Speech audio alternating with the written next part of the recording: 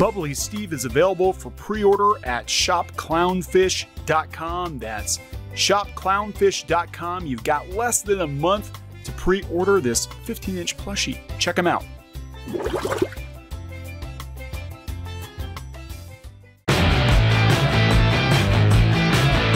Welcome back to Clownfish TV. This is Kneon, and we're going to talk about the cancellation of legendary comic book creator Frank Miller.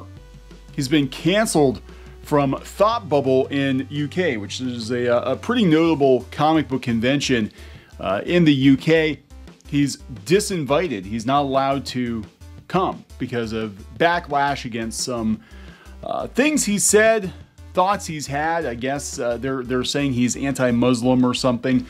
We're going to talk about this. Frank Miller has always been a polarizing figure in comics. He's always had uh, very strong opinions, but he's also widely regarded as one of the greatest comic book artists of the last several decades. I mean, you're talking about the guy who uh, gave us Dark Knight Returns. Now, the sequels, yeah, not good.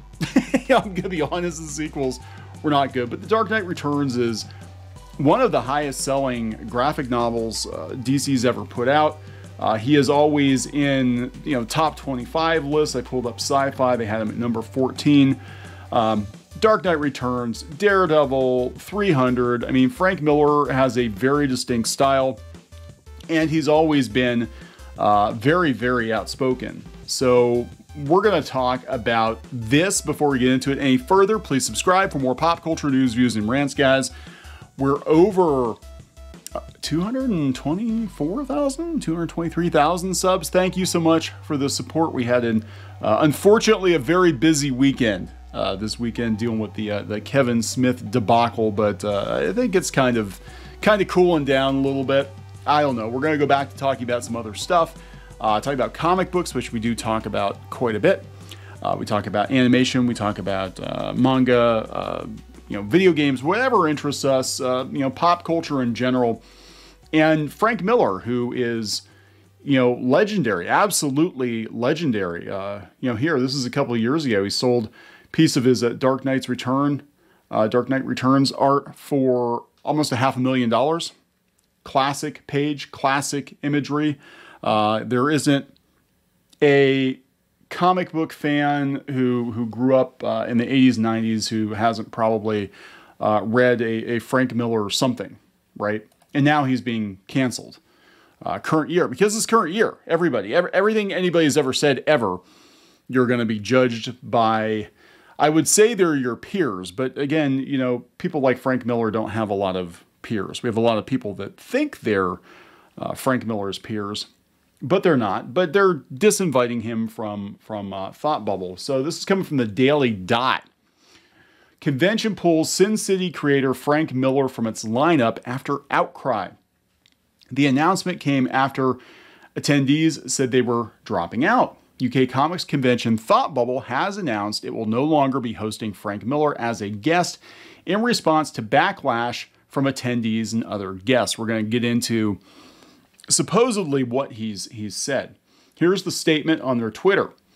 Over the last 14 years, Thought Bubble has grown into an amazing community of comic creators and fans who we love, trust, and respect.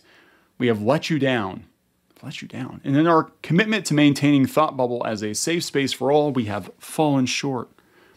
We exist to share the art form and its worlds with people. If any individual group or community feels uncomfortable or excluded from our show, then we failed. What about the Frank Miller fans? They probably feel excluded right now. We know that many of you are disappointed in us and have been expecting a comment on this before now. We're sorry for our silence while we, we've been trying to fix this. Frank Miller will not be attending Thought Bubble. We are deeply sorry, particularly to those who we should be standing up for the most. We hope that you can give us the opportunity to make this better, and we thank you for holding us accountable. Twitter cancellation mob. Twitter gets Frank Miller canceled. Frank Miller, one of the the uh, most popular comic book artists of the last quarter century or more. Uh, Frank Miller, who forever changed Batman. Uh, that Frank Miller, yeah, we got him canceled because he's problematic. Twitter got Frank Miller canceled. We know there's still more to discuss, and we will be replying to those who have been in touch.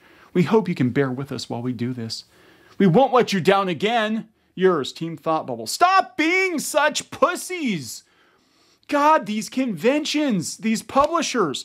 It's not like, hey, we're not having so and so.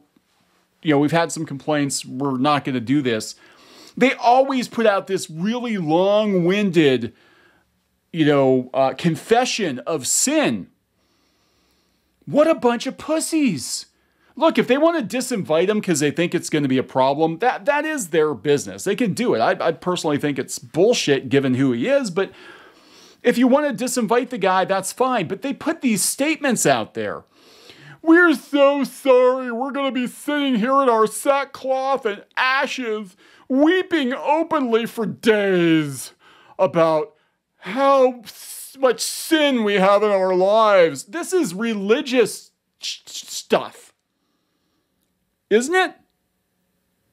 Isn't it? I mean, this is this is like what you would do in a cult, in a religious cult. If you failed your religious leaders, you would there would be weeping and gnashing of teeth. This is worse than I thought was going. Like I said, if you cancel the guy and say, "Hey, he's not coming. We had some complaints," uh, you know, just so you know, and put left it at that. But they always do this. We've let you down. Oh, I'm so sorry I cheated on my wife. Oh, I'm so sorry I had dirty pictures of kids on my computer. Oh, I'm so sorry I ate cake. Pussies. Seriously. Anyway, back back to it. Frank Miller, once the uncontested king of comics, has been increasingly controversial over the years, already accused of misogyny over Sin City. Wait, what are the accusations exactly? Let's get into this. Already accused of misogyny over Sin City, Miller came under fire for Holy Terror in 2011. I do, I do remember that did not go over very well. A graphic novel which critics called out as Islamophobic. This is in 2021. That thought bubble Miller situation shows that even the most respected organizations will throw their ethics away for money, and that speaking out works. He's doing commissions. Frank Miller doesn't need to do commissions. Frank Miller is hella rich. He doesn't need to do commissions. Just putting it out there. Here's Team Godzilla. What was Thought Bubble even thinking by inviting Frank Miller in the first place? Don't they know that Twitter disapproves? Not gonna lie, when I first saw him name, when I first saw him name, I thought it was a publicity stunt so they could immediately drop him to prove they're a friendly space. Otherwise, his presence just feels so at odds with their mission statement.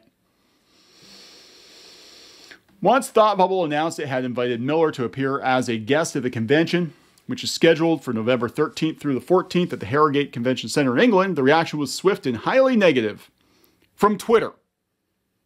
Everybody else wouldn't give a shit. In fact, people would probably line up around the block to come see Frank Miller. I don't think he does a lot of conventions these days. Fans announced they would no longer attend the convention unless Miller was dropped. Well, clearly they're not fans of of Frank Miller. With some going so far as to tweet screenshots of their canceled bookings as the start date dragged closer and Miller remained on the books. Yeah, not going to Thought Bubble this year. They've made their choice. I've made mine. The UK's best comics event should have no interest in the, the likes of Frank Miller's bigotry sticking it up or any. You can't make this up! Where do these people come from? Where do they live? Real people in the real world don't talk like this. Nobody talks like this. I, nobody, even even in freaking Portland, people aren't just sitting around. Well, maybe Portland. No, I, am kidding. I'm kidding. I actually we had people from Portland who watch us. It's like, come on, Portland's not that bad. Okay, okay, but seriously, I can't picture a bunch of man buns sitting around a coffee shop going like, well, did you hear about Thought Bubble? Hmm, they invited Frank Miller, and his bigotry is literally just stinking everything up. I can smell Frank Miller from across the room. It's just, it smells like old money and misogyny and more money and more money. It just smells like money. He just smells like money when he walks by. All I smell is sweaty $100 bills. It's like the man sweats money. How disgusting is that? Why would they ever invite a man who sweats money to their for profit organization's event? Seriously, who wants all that money, all that man money stinking up the place? You tell him, Hamish. I don't know. I urge Thought Bubble to reconsider which parts of this industry they want to showcase. Oh, for fuck's sake. Again, where do these people come from? I, I, I, seriously, I read these tweets. I'm like, you're not a real person. You're a caricature of a real person. Nobody talks like this. Nobody talks like this. It, for for real. Like you're a cartoon. Nobody talks like this. I was so looking forward to Thought Bubble. It's the only con I go to every year, but they're inviting Frank Miller. That's a hard pass for me. Do better. Do better. We're going to send Twitter after you. Jess Taylor. I will be withdrawing from Thought Bubble, and I urge other creators to do the same until Frank Miller is pulled from the roster. Edward Ross. I love Thought Bubble UK every year. I attend. I can't in good conscience attend this year while Frank Miller remains a guest, sweating his sweaty money sweat all over people. Why invite someone whose work has done real harm when you could be making space for exciting modern voices, not those sweaty old men who sweat money? But it seems like it took independent publisher Shortbox to sign the pool to get Thought Bubble to finally remove Bill, uh, Miller as a guest. For clarity, I first contacted Thought Bubble about this privately eight weeks ago. After discussions, I was assured action would be taken. so, wait, this publisher got Frank Miller canceled. Okay. Uh, this week, it's been communicated to me that I am the acceptable loss, repercussions my career income over repercussions to theirs. So, this is what they said. I'm sorry to inform you that Shortbox and I will no longer be attending Thought Bubble Festival this November. I was invited as a guest in 2020, which rolled over to this year. I've been excited to attend, represent my authors, and share our books with readers after almost two years of no conventions. However, as a proud Muslim woman, I cannot in good conscience attend a festival that deems it appropriate to invite and platform Frank Miller, a person who is responsible for the propagation of abhorrent anti Muslim hate, particularly via his work. I haven't read that book, um, the one that came out in 2011. We are talking about a book that's been out for 10 years. So I can't vouch as to whether or not it's it's what they're claiming it is. I do know that Twitter tends to exaggerate. I'm putting that that lightly. I don't know. Uh, but here's the thing: if if Thought Bubble bans him, then how long until other conventions ban him? Because it's the thing to do now. It's it's basically he has become the comic book equivalent of Vic Mignogna at this point, right? You're not allowed to invite him, or they will brigade your convention, or Ethan Van Sciver. you know, it's like it's like I we're we're, we're running into this uh, this situation now where I think we're going to have two comic book industries we're going to have this comic book industry, which is Twitter's comic book industry. And then we're going to have another comic book industry um, built on titles that sell, built on creators that sell. And even if some of those creators might have some iffy politics or iffy beliefs, uh, you know, convention runners are probably going to follow the money. Um, anyway, that's that's that's my take on it. Uh, again, I can't vouch as to whether or not his, his work is truly anti Muslim or not. I don't know. Uh, anti Muslim bigotry is repugnant and condemnable, yet has become so deeply rooted, so widely accepted in society, it's not even given a cursory consideration, as evidenced once again in this situation. I cannot comprehend how time and time again festivals and communities within comics espouse values regarding inclusivity, diversity, comics being for everyone, zero tolerance on hate, but all that lip service evaporates when they're act uh, they're asked to enact those same values. Although some fans of the con are just pleased that Miller will no longer attend, for many, his removal is too little too late. So it doesn't matter, you got rid of him, and people still aren't coming. I'm glad that Thought Bubble has stepped up and committed to their promise of being a safe, inclusive space, but it shouldn't have taken independent creators risking their livelihood and refusing to attend and being vocal about why. He shouldn't have been invited in the first place. You were supposed to know he was on the do not fly list. Don't you know? We keep lists. No, they do. They literally keep lists. They deny it. They deny, deny, deny. But there are literal lists circulating around of people you do not invite to conventions, uh, you do not work with if you want to stay in the good graces of Twitter. And that's what this is about, is not pissing off people on Twitter. For some, it's the fact that after eight weeks weeks of objections from guests and fans, it took one of their more prominent guests withdrawing to remove Miller, including Shortbox's. Uh, gonna mangle her name. Uh, Zainab Akhtar. Is that is that? Wait a second. Doesn't she write for? She wrote for Comics Beat. I'm pretty sure. I'm pretty sure she wrote for Comics Beat. So she was a journalist turned publisher. Okay.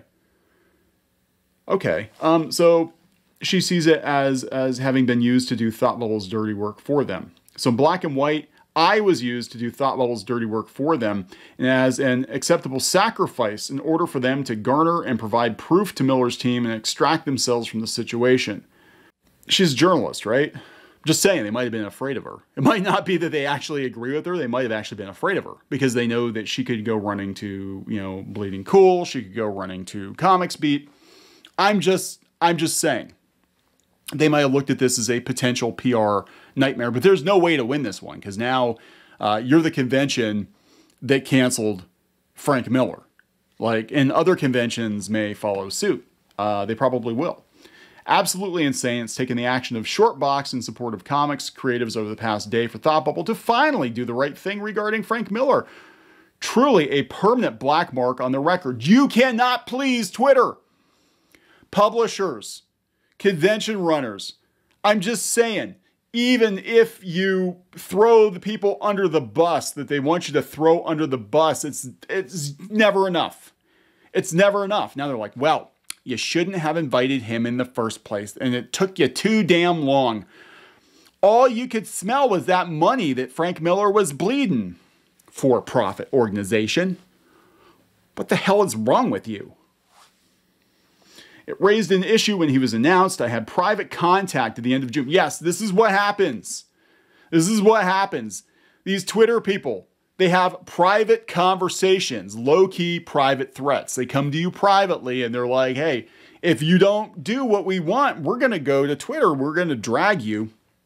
We're going to drag you all over the damn place.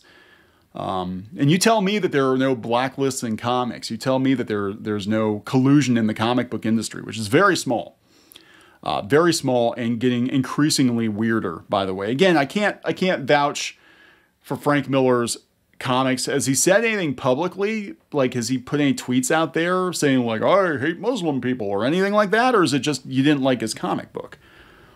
You know, I, I, mean that's that's that's the question I have because if he if he put tweets out there or he had interviews where he was making you know uh, comments like that, then I, I, guess I could see that more than like I don't like his comic book. Uh, I don't know. Anyway, this is also the Frank Miller that was a big deal with you know the comic book legal defense fund for years. You know, we had that image of that little girl having her eyes and mouth kind of duct taped, uh, band aids put over. And uh, that was powerful imagery. And now the Comic Book Legal Defense Fund is a joke. It basically helps publishers toe the line. They would throw Frank Miller under the bus. You know, they would censor Frank Miller and claim it was uh, you know freedom of speech because they had to. Everybody else had to be free from Frank Miller, so they would censor him. That's how it works now. I don't understand how such a good con, one that has had outreach programs for underrepresented creators of all kinds, cannot know that inviting someone like Frank Miller could possibly undermine everything they're trying to do. Oh, God. It shouldn't have gotten to this point. We're so sorry. And although uh, we've been working on it for weeks now, barriers stopped us making the decision we wanted to make. Probably potential lawsuit, probably an ironclad contract, probably the thought of losing a shit ton of money by disinviting Frank Miller. I wondered if certain other people had a hold over you you needed persuading, as I thought you especially would have tried to fix this. Holy hell, it just goes on and on. They keep saying there were barriers in place, but why do those barriers uh, that have been so insurmountable in the eight weeks since uh, others raised the issue suddenly melt away when the matter was public and Thought Bubble started getting bad publicity? You cost these people time and energy they could have used being productive and taking care of their well being as opposed to putting themselves out there and dealing with the consequences of your actions, Thought Bubble. I hope you're paying reparations to those. Holy shit. What? I hope you're paying reparations to those that put themselves in the firing line and now have to deal with an onslaught of abuse. It doesn't end with just an apology. Numerous reports say Thought Bubble promised to address inviting Frank Miller and all the problems it entails then did nothing and is so disappointing. Fully aware and making the choice to sell marginalized people in comics out for a big name. Comics Twitter should stop talking about artist versus writer and about Batman buying crime for the millionth time and start talking about how most of y'all are cool with the industry being the way that it is. No, actually, some of us aren't cool with the industry being the way it is because it's not an industry anymore. It hasn't been for a very long time. It's a club. It's a club. Uh, and you don't have to like somebody. In fact, this has been addressed for a while. I know if you go to San Diego, uh, they actually ask you, I think it was San Diego, maybe it was New York, one of, the, one of the bigger cons. If you set up there, if you table there, they ask you if there's anybody you hate. So they don't put you next to somebody you hate because they don't want there to be issues because it's such a freaking clique. Thought Bubble really threw her in front of Frank Miller's racist fans and just said, oops, sorry. Sorry, everybody. So sorry. So there we go, guys. Frank Miller, considered, widely considered one of the greatest uh, comic book artists of the last 25, 35 years, uh, canceled from Thought Bubble because of Twitter. Let me know your thoughts. Comment below. Please subscribe for more pop culture news, views, and rants, guys. We'll talk later.